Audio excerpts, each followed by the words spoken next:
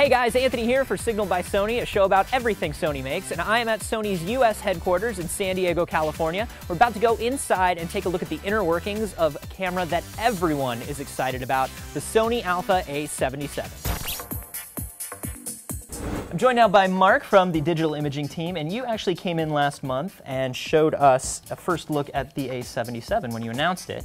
And we have gotten tons of questions from our viewers about all of the new technology that makes the 77 work. So can you take me through all of the new bits and pieces here? So the first part is the translucent mirror. You can see here, we introduced this technology last year with the 33 and the 55. Right. It's really the heart of the 77 in that it allows the camera to focus while it's shooting. Very important for still images, but also very, very important for video as well. And uh, what we've done with the 77 is we've increased the performance in every area, the translucent mirror, the focusing system as well. Okay. A lot of that is to support the activity of the new shutter. This is a new shutter mechanism right. developed for the 77. Allows the camera to shoot at 12 frames per second. Which sounds like this. It's crazy. Yeah. Uh, fastest digital SLR available today. 12 frames per second, wow. a very rugged shutter unit that uh, has up to 150,000 cycle uh, rated. Another key element for the 77's development was this new image sensor. This is the 24.3 megapixel APS-C image sensor we developed for the 77. We featured it in a couple of other cameras this year, but it debuts in the 77. Very important part is it's the world's first 24 megapixel APS-C sensor. Mm -hmm. And uh, what we've been able to do through advancements in sen sensor technology is to realize extraordinary picture quality in the APS-C size. Yeah, when you read a lot of camera buyer's guides, they tell you once you get to a certain size, cramming more megapixels megapixels in doesn't really improve picture quality, but you guys have actually found a way around that with this. Yeah, with this generation of sensor technology, we've been able to get extraordinarily good low noise performance with retention of detail right on up through ISO 3200, ISO 6400 as well. And some of the initial reports on the web with some of the initial uh, image quality tests have really borne this out. Another key element of this sensor is its throughput. Uh, we've been able to uh, support the 12 frames per second at 24 megapixels, which has never, never been done before. Up until now, 24 megapixel cameras have been limited to 5 frames per second. Wow. So with this resolution at 12 frames per second, we've really set a new standard, a new record for what a digital SLR can do. Uh, it's also very important for the movie capability. Okay. Because one of the things that we've done in the A77 is allow for selectable frame rates. We can shoot at 24p for a cinematic effect. We can shoot at 60 interlaced. But more importantly, for the first time, we can now shoot at 60 progressive. So full 1920 by 1080 at 60 progressive frames. Never been done before in a digital SLR. Wow, that's awesome. Really renders uh, motion in a way in which no other uh, format can. We've also been able to uh, maintain our uh, steady shot inside sensor shift image stabilization. So every lens you shoot with uh, has the advantage of up to four stops of image stabilization. So the uh, new image sensor is really a very, very important part of the A77. Yeah, that sounds awesome. Another key element can be found on this. This is the main PC board of the camera.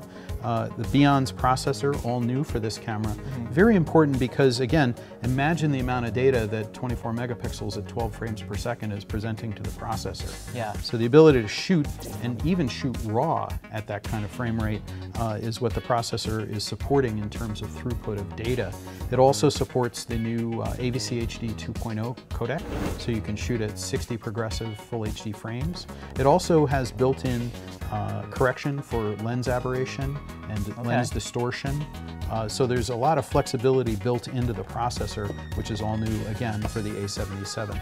Very cool. And then of course you're uh, you're looking at your picture as it's going through all this technology on this guy right here, which I love.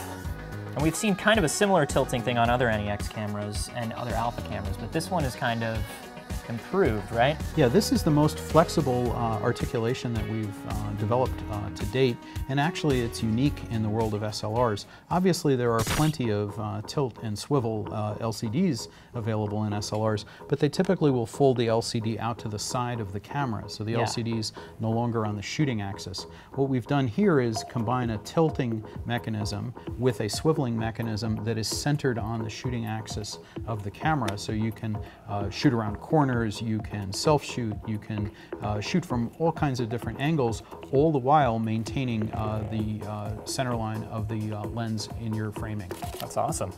But another key element, uh, you can frame, of course, with the LCD, but even, even more so, you can frame with this new eye-level viewfinder that we've created. Yeah, this guy is awesome. Tell me more about this. So this is the world's first eye-level viewfinder for an SLR using OLED technology. So what does that mean? Well, in the A33 and the A55, we used LCD technology. Mm -hmm. And there are limits to LCD technology when used uh, as a viewfinder, um, primarily in terms of resolution and speed. Mm -hmm. So whereas the viewfinders of the A33 and the A55 were under uh, a million pixels, what we've done with the OLED viewfinder is almost triple the resolution to about 2.4 million pixels of resolution.